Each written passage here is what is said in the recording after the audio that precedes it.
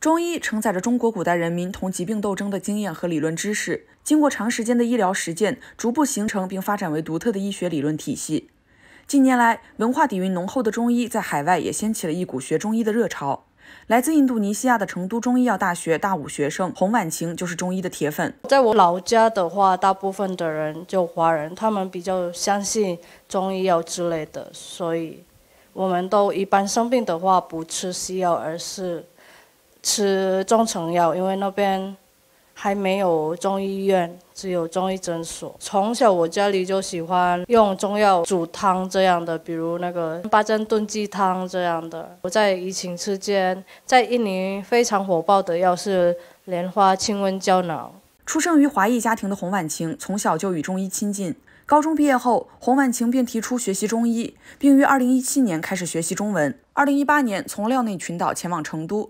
洪万清成了成都中医药大学中医学专业的一名学生。我是二零幺八年九月份来成都的，选了成都是因为听说这边的美食很好吃，以及生活节奏。我个人觉得成都是一个包容性比较强的城市，在生活方面比较便利的，人民也比较友好热情。选了成都中医药大学是。因为我们可以和内地生一起上课，然后可以更加了解中国文化。洪万清之烟，他从小就觉得中医非常神奇，但真正的学习之旅却与他想象的有所不同。呃，第一次接触接触中医的时候，我觉得中医很神奇，它可以通过望闻问切就诊断一个疾病，然后中医药的效果也是很好。来之前，我以为我学了中医不用学西医方面的知识，但来了之后，我中医知识还有西医的知识都上，然后我后来觉得中西医结合是一个有优势的，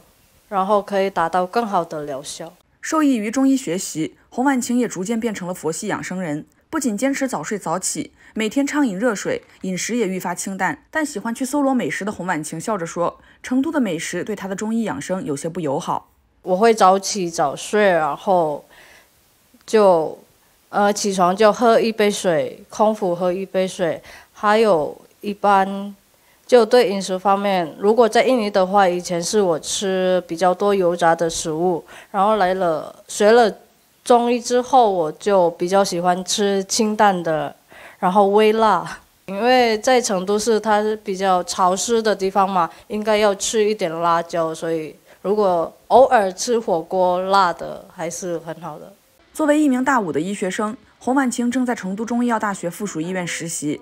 临床实习让他感受到自己距离一名真正中医还有很长的路要走。洪婉晴介绍。如今，在印尼，除了华裔外，也有越来越多印尼人开始选择中医。